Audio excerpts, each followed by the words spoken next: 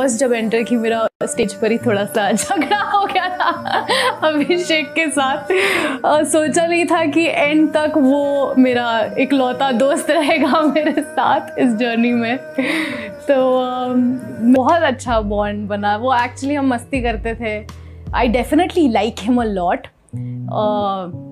but वो जो flirt वर्ट करते थे बस मस्ती करती थी। और मैं तो ये बहुत बार बोल भी चुकी हूँ यार कि मैं मस्ती करती थी। ऐसी कोई फीलिंग्स है?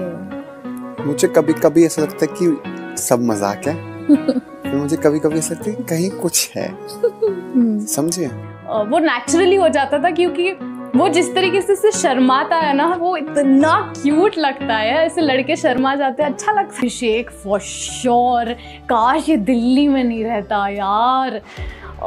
वरना तो अभिषेक और आई फील या तो एलविश हो या तो अभिषेक हो बट दिल से है कि अभिषेक